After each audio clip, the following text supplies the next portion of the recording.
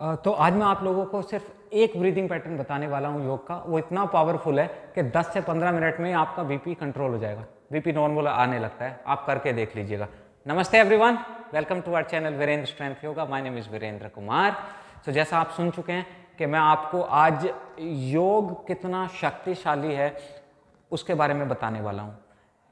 योग में ब्रीदिंग श्वासों पर कंट्रोल करना कितना ज़रूरी है। देखिए, अगर आपने श्वासों पर कंट्रोल कर लिया ना तो आप अपने जीवन पर कंट्रोल कर सकते हैं।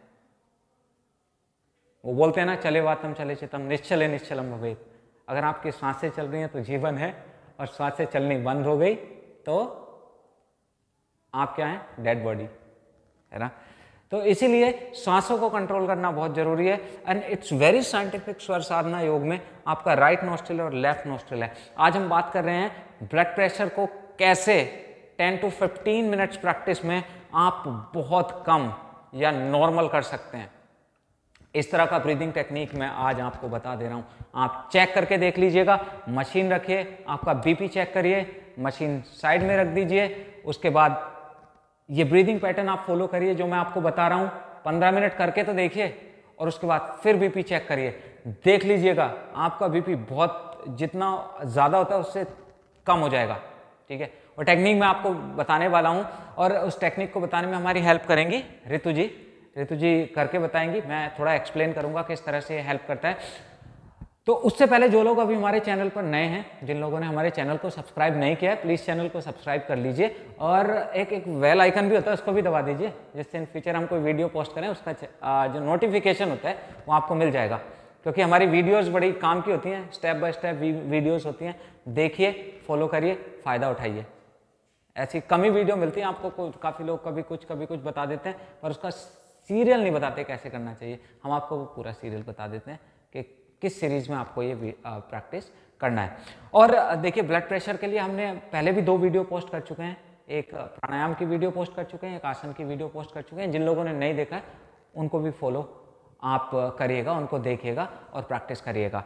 और हाइपरटेंशन, हाई ब्लड प्रेशर की जब हम बात कर रहे हैं तो मैं अपनी वीडियोस में बता चुका हूँ कि 234 million people in India itself are suffering from this problem बहुत बड़ी समस्या हो गई। तेईस करोड़ से ज़्यादा लोग हैं, ठीक है? इतने लोग हाई ब्लड प्रेशर की समस्या से जूझ रहे हैं और काफ़ी लोगों को तो इसमें यह पता ही नहीं होता कि हमें हाई ब्लड प्रेशर है। क्योंकि वो चेक नहीं करते, इसलिए छः महीने से लेके एक साल में आपको एक बार कम से कम ब्लड प्रेशर चेक ज़रूर कर लेना चाहिए। साइलेंट किलर बोलते हैं हाई ब्लड प्रेशर को। हार्ट पे प्रेशर पड़ता है हार्ट की बीमारियाँ होने लगती हैं आगे जाके। तो खाने पीने का तो आपको ध्यान रखना ही है, तली भुनी चीज़ें नहीं खानी, आपको और ज़्यादा प्रोसेस फ़ूड नहीं खाना है, बासी चीज़ें नहीं खानी है आपको।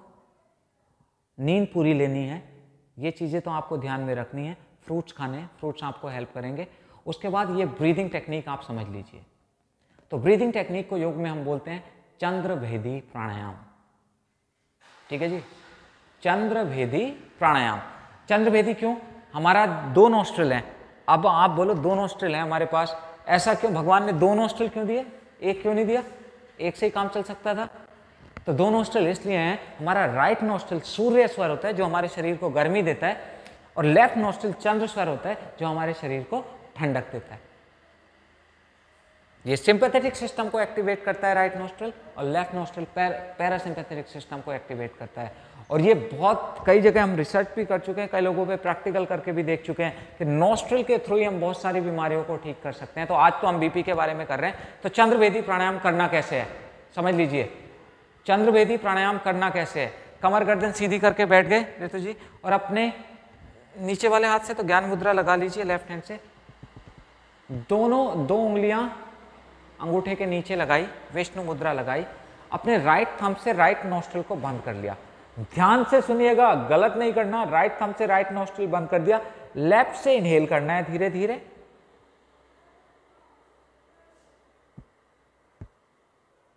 फिर लेफ़्ट को बंद करके राइट से एक्सहेल करना है। धीरे धीरे और ये प्रक्रिया दोहराते रहेंगे।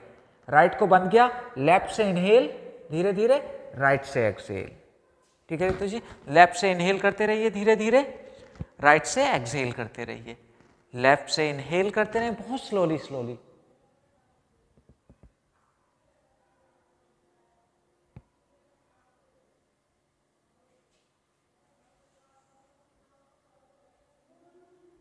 और अपनी सांसों को पीछा करते रहें। तो लेफ़्ट से इनहेल करना है राइट से एक्सेल लेफ़्ट से इनहेल राइट से एक्सेल उल्टे बाएँ से सांस लेना है और दाएँ से सांस छोड़ना है। You need to inhale from left exhale from right nostril मैं इस पर इतना ज़ोर क्यों दे रहा हूँ? क्योंकि अगर आपने उल्टा कर लिया राइट से इनहेल किया लेफ़्ट से एक्सेल किया तो बीपी बढ़ जाएगा। ठीक है? तो ये 10 से 15 मिनट करिए और मशीन से आप चेक कर लीजिए। आपका बीपी कंट्रोल हो जाएगा या बहुत नॉर्मल आ जाएगा। ठीक है? तो इतना पावरफुल प्राणायाम है ये चंद्रभेदी प्राणायाम, और इससे और बहुत फ़ायदे होते हैं। चेहरे पे ग्लो आएगा, आप में धीरता आएगी। और स्ट्रेस की अगर किसी को प्रॉब्लम है, वो भी ठीक हो जाएगी डिप्रेशन भी ठीक हो जाएगा। तो इतने फ़ायदे इस प्राणायाम के हैं। तो चंद्रवेदी प्राणायाम को प्रैक्टिस करिए प्रैक्टिस करके मशीन से चेक करके तब कमेंट कीजिए कि हाँ मेरा बीपी कम हो गया and share it with people share it with your friends with your family members and comment करके ज़रूर बताइए कि वीडियो कैसी लगी है और किसी, कोई टॉपिक आपके पास है जिस पे आप हमसे वीडियो बनवाना चाहते हैं तो वो टॉपिक लिख दीजिए कमेंट में। उस पर हम कोशिश करेंगे कि अपनी नेक्स्ट वीडियो बना लें। तो आज के लिए बस इतना ही। मिलेंगे अपनी नेक्स्ट वीडियो में। तब तक के लिए नमस्कार।